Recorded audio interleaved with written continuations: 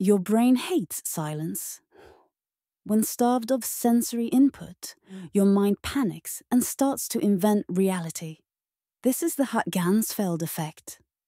All you need is half a ping pong ball over your eyes and quiet white noise in your ears.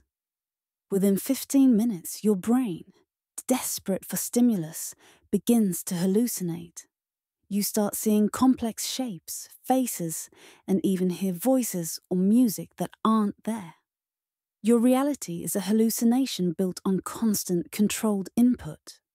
When the input stops, the brain defaults to pure, raw invention.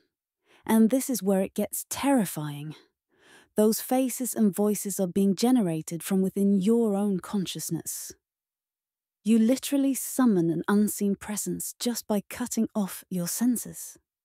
It proves that the normal world is the only thing keeping your mind from unraveling into a landscape of self made ghosts.